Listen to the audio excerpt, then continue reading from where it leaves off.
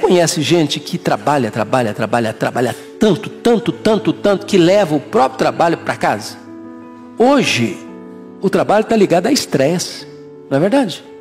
O cara levanta cedo, fica no escritório até 10 da noite, mil problemas para resolver, e vai para casa dormir. E aqueles mil problemas ficam pulando na mente dele, atormentando a cabeça dele. E ele não tem tempo de comunhão com a esposa, com o marido, com os filhos. Ele deita e vira para lá, vira para cá, rola para lá, rola para cá. Tem espinho no colchão, tem pedra no travesseiro.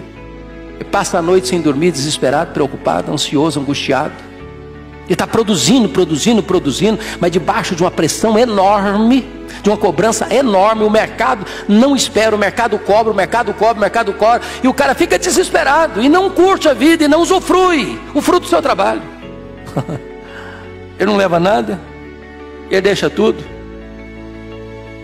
E para ganhar o que ele tem, ele nem consegue dormir de noite. Eu sei que essas coisas podem não acontecer com vocês. Mas acontece de vez em quando com alguém por aí.